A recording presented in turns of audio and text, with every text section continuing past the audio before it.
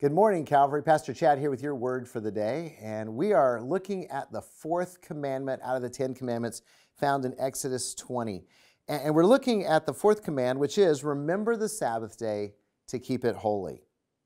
Now, God gave us all the commandments of the Ten Commandments in order to protect us and literally to keep our lives from crashing. I always think about them as guardrails. And, and if you follow the Ten Commandments, your life will stay, you know, in the lane that you're supposed to be in, and you won't end up in the ditch someplace wondering what happened.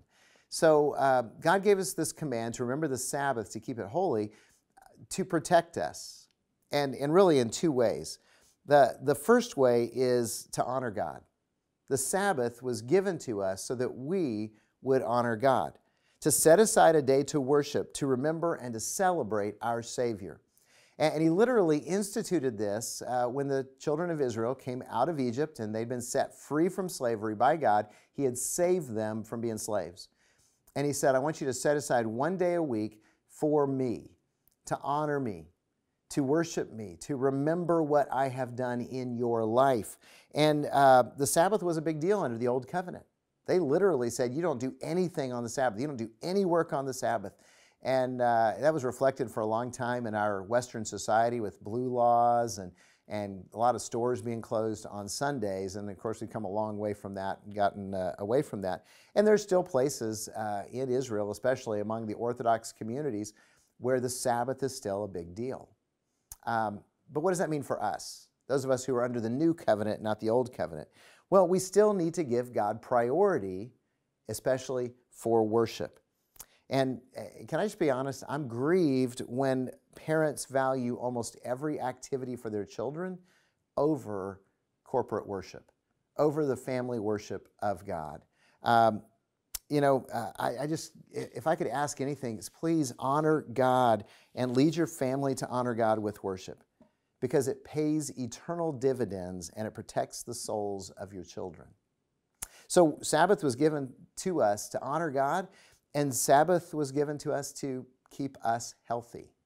That's right, keep us healthy. God wants to protect our lives. And the truth is, we need rest. We need rest. Workaholism is a sin. Now, it's a sin that the church has embraced and celebrated and baptized and, uh, and all of that, but it's not true. It's still a sin. It's disobedient to God for people to work uh, themselves to death, for them to work themselves to where they neglect their family, they neglect, neglect their own health. Uh, it's just not a healthy thing to do. Uh, rest, Sabbath, is trusting God to provide. In the Old Testament, it was trusting God to provide for seven days what we worked for for six. Uh, you know, for us, uh, it's a statement when we rest that we're trusting God to provide for us because we're being obedient to God.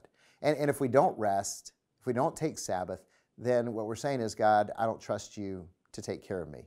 I have to take care of myself.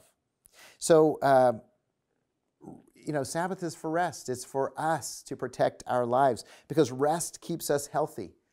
Rest keeps us healthy physically, it keeps us healthy spiritually, it keeps us healthy emotionally, and guess what? It keeps us healthy relationally with our family and with the people around us.